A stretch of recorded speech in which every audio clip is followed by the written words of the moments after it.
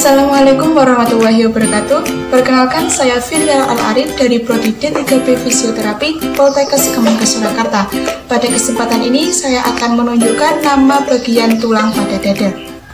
Nama bagian tulang pada dada atau osternum.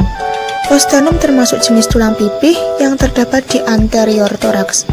Sternum dibagi menjadi tiga bagian, yaitu manubrium sterni, corpus sterni, dan processus sipoidius.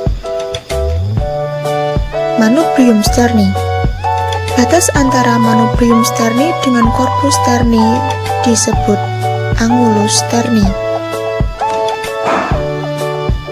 Pada bagian superior terdapat cekungan, yaitu incisura jugularis. Sebelah lateral kranial terdapat sepasang incisura clavicularis.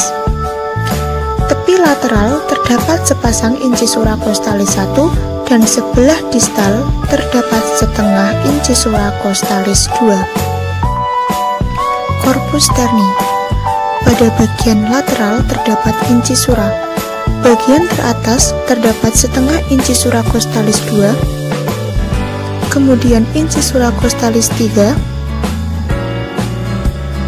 incisura costalis 4, incisura costalis 5,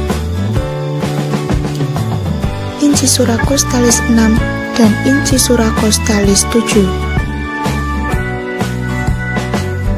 Bagian terakhir yaitu processus sipoidius, berbentuk tipis dan runcing, ujung ada yang bercabang dan ada yang tidak, serta kadang ada yang berlubang.